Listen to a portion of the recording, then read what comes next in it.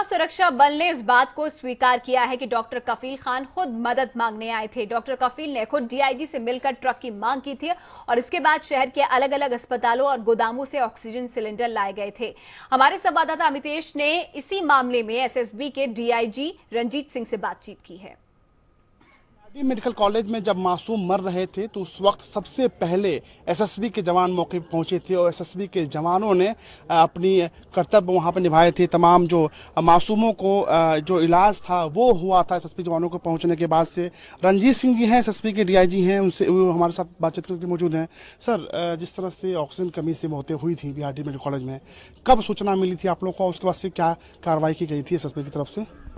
देखिए, वहाँ पे क्या स्थिति थी जब हमसे मांगा गया था, हमें ये बोला गया था कि हमें आपसे मदद चाहिए गाड़ी चाहिए हमें, और हमने वो प्रोवाइड कर दी, जो कि हमारा रिस्पॉन्सिबिलिटी भी है। कोई भी हमें अगर मदद माँगता है तो हम फ़र्स्ट रिस्पॉन्डर्स हैं ही हैं बॉर्डर में भी हैं, और यहाँ पे भी थे, हमसे मदद मांगी गई तो हमने गाड़ी दे दिया सर, किसकी तरफ़ से मदद मांगी गई थी, और क्या कहा गया था उस वक्त, जो हालात थे उसके बारे में?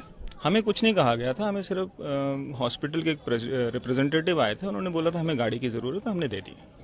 सर कौन आया था? कुछ मालूम है कि एग्जैक्ट अब नाम मुझे याद नहीं है। हमसे रिक्वेस्ट किया गया था हमने बोला कि बहुत इंपॉर्टेंट है हमने तत्पर गाड़ी दे दिया था। डॉक्टर काफिल खान भी आए थे बातचीत हुई थी सर ट्रक और तमाम जवानों को अपने भेजा था मौके पर हालाँकि एसएसबी जवानों की जो भूमिका थी बहुत महत्वपूर्ण भूमिका थी उस वक्त।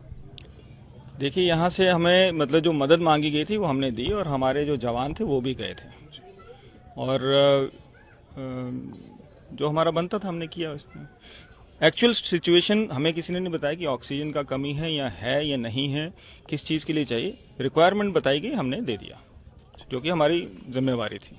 क्या बताया गया था? मैसेज क्या दिया गया था सर आप लोगों को, सर? मैसेज ऐसा सच कोई नहीं था। एक रिप्रेजेंटेटिव आए, उन्होंने बोला कि हमें गाड़ी की ज़रूरत है, आपसे मदद की ज़रूरत है, हमने दे दी गाड़ी। शुक्रिया। यह है एसएसबी के डीआईजी रंजीत सिंह, जो साफ़ तौर पे कह रहे हैं कि जो कि एसएसबी सबसे पहले क्विक रिस्पांस देती है और एसएसबी के जवानों की महत्वपूर्ण भूमिका, एक बार फिर से बीआरडी मेडिकल कॉलेज में ऑक्सीजन से ऑक्सीजन कमी से हुई मौतों के मामले में भी सामने आया है। कैमरा पर्सन अरशद खान के साथ अमितेश श्रीवास्तव न्यूज़ इंडिया, गोरखपुर।